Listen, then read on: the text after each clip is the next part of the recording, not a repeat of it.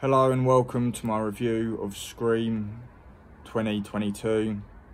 It's the fifth Scream film. I haven't seen Scream 1 to 4, but I watched the newest one last night at the cinema.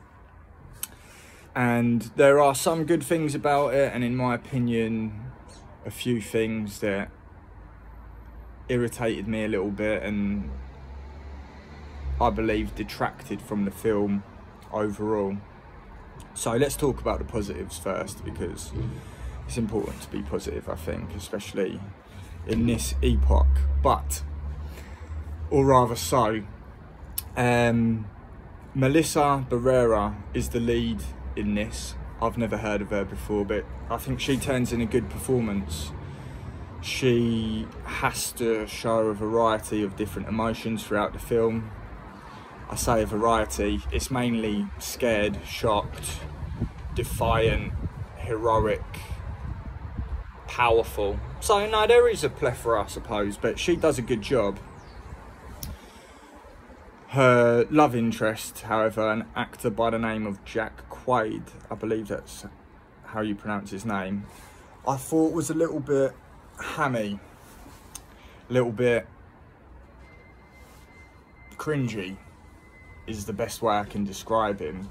He's certainly playing a stock archetypal character, you know, the, the stoic boyfriend, but I didn't really buy their chemistry, him and uh, Melissa Barrera's. And when they were on screen together, which is quite a bit, she always comes across as the more accomplished of the two, in my opinion.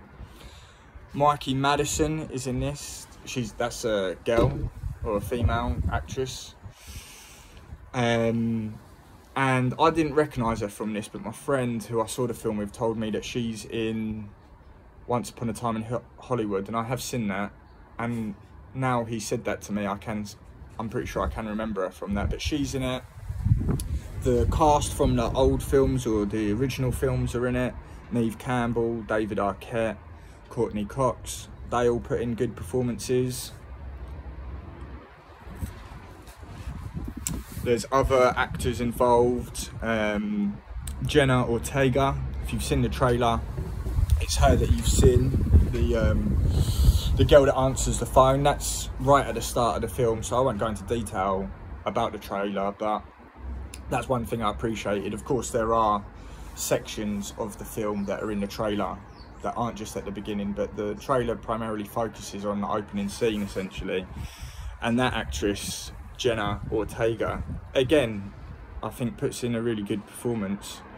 She has to do a lot of screaming, you see that in the trailer, and it, it's always believable. So, she's definitely a bonus or a positive of the film. And another thing to say about this film is it's an 18, or at least it is in England. And I can't remember the last time I saw an 18 at the cinema, if ever, to be honest. There's no nudity in it, there's no gratuitous bad language. It's an 18 purely because there's a lot of violence in it. It really is a slasher film.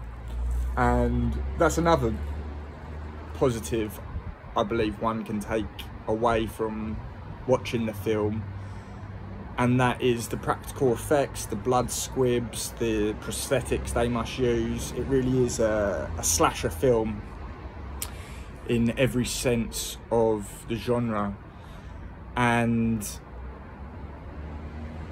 that's done well and brings me on to my criticisms now of the film. So the biggest thing I'd take away from this, and I spoke to one of my brothers earlier, and he assured me that the original's a bit like this anyway, which I didn't know because I hadn't seen it.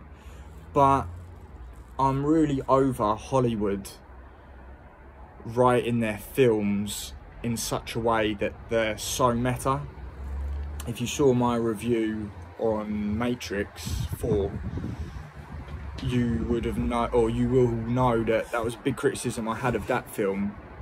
That is so self-referential, and I find it tiresome to be honest. I mean, there were moments in this film where it is clever, but it beats you over the head with it. Let me just give you an example without spoiling anything.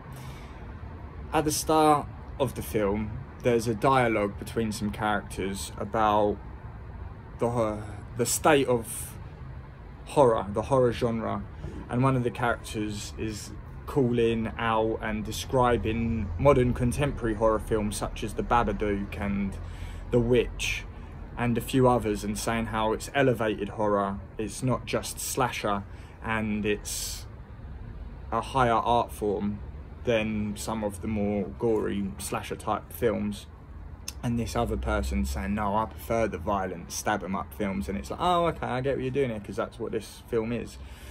Um, but there's one moment where one character monologues for about three minutes and talks about soft requels, reboot sequels, and she's talking about the newest Star Wars film and other films that are and Ghostbusters, the newest Ghostbusters, where it's basically the original film, but they bring the old cast back to service the fans, and it's like I know as an audience member that's what you're doing.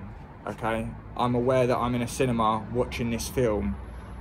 You know, you don't need to keep telling me that I, like many people, I should imagine, watch films for escapism, and it's hard to really escape the vicissitudes of life or the reality in which one finds themselves in when they're watching a film at the cinema when the film you're watching constantly says you know this is basically the original but we're doing this and these are the rules of how you do this. And it's like bro i just play the film out and when it's central to the film like it is in scream and it and it was central in matrix 4 it just gets irritating for me at least anyway.